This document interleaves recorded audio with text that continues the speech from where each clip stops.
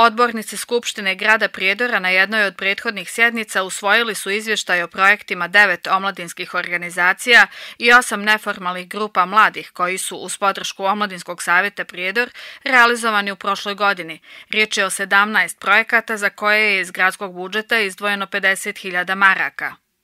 Kroz ove projekte u protekloj godini radili su se tereni, dječja igrališta, teretane na otvorenom. Baš nedavno radili smo i ekološke akcije prošle sedmice e, na tim terenima. Apelujemo ovom prilikom na sve građane i na omladince koji su realizovali ove projekte, kao što je načelnik Milješić rekao da se malo obiđu ti tereni, da ne bi došlo ponovo do devastiranja istih, da ne bi naš trud i rad bio uzaludan. Još je važno napomenuti činjenicu dakle, da su mladi učestvovali eh, i u realizaciji projekata putem eh, regionalnog programa lokalne demokratije, dakle RILOA 2 projekta i u 2023. godini u okviru ovog projekta realizovano je šest projektnih prijedloga, eh, a Omladinski savjet Prijedor je realizovao jedan od značajnijih pod nazivom Rekonstrukcija sportskih terena u Srednjoškolskom centru Prijedor.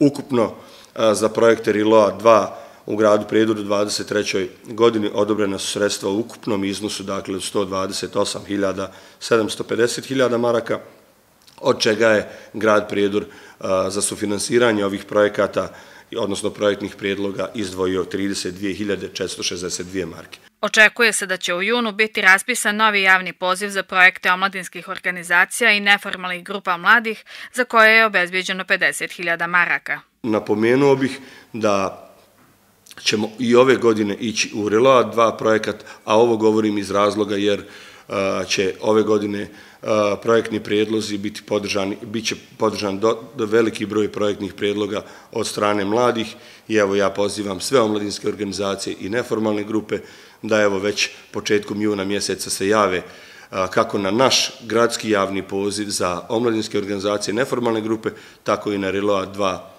Milješić je podsjetio da je u toku izrada nove omladinske politike od 2024. do 2028. godine, koja bi u narednom periodu trebalo da bude dostavljena na usvajanje Skupštini grada.